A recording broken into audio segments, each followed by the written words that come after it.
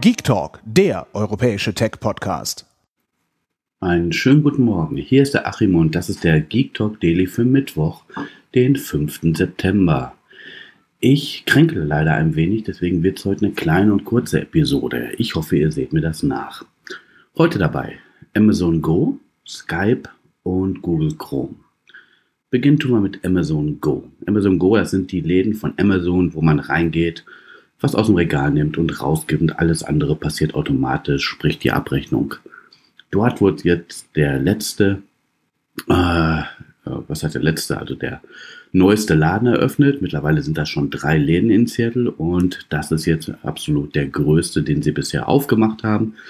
Der hat 2100 Square Foot und ähm, ja, der erste war 1450, der zweite 1800 und der ist jetzt nochmal eine Nummer größer.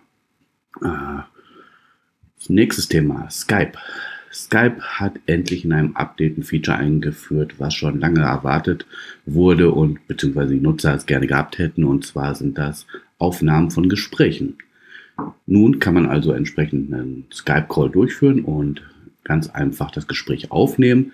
Alle Teilnehmer werden benachrichtigt mit einem Balken, dass das Gespräch aufgenommen wird. Und das Feature ist mobil und am Desktop verfügbar in allen Versionen, außer auf Windows 10. Da wird es wohl nachgeliefert. Und zu guter Letzt heute, Google Chrome wird 10 Jahre alt. Tja, hätte ich nicht gedacht, es kürzer eingeschätzt. Und zum 10-jährigen Jubiläum gibt es auch wieder logischerweise ein Update. Das kommt ja alle paar Wochen. Und das Update hat ein komplett neues Design. Und ähm, ja, Google kann so frisch in die nächsten zehn Jahre starten. Ja, und das war's dann auch schon für heute. Wie gesagt, kurz und knapp. Ich hoffe, morgen bin ich wieder fit und kann euch ein paar mehr News präsentieren. Kommt ihr jedenfalls gut in den Tag und bis morgen. Ciao, ciao. Hört mehr Geek Talk.